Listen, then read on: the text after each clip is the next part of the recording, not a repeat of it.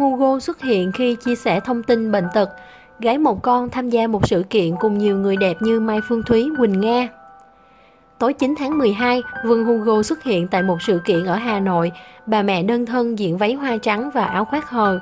Cuối tháng 11, Thanh Vân chia sẻ chuyện mình bị hỏng một mắt trong một chương trình.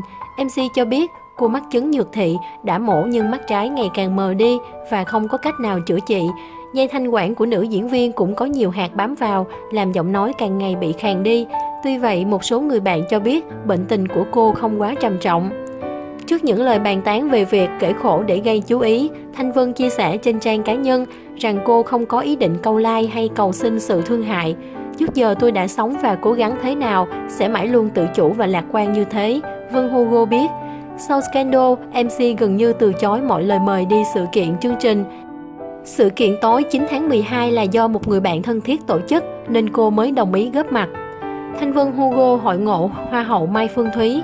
Gần đây, Mai Phương Thúy dành nhiều phần lớn thời gian ở Hà Nội bởi muốn ở cạnh gia đình nhiều hơn. Hoa hậu Việt Nam 2006 khoe nhan sắc trong bộ váy hoa họa tiết bó sát.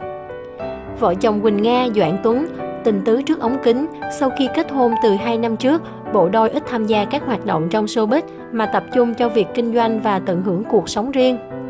Diễn viên Minh Hà một mình đi sự kiện, gần đây cô bắt tay vào công việc kinh doanh thời trang.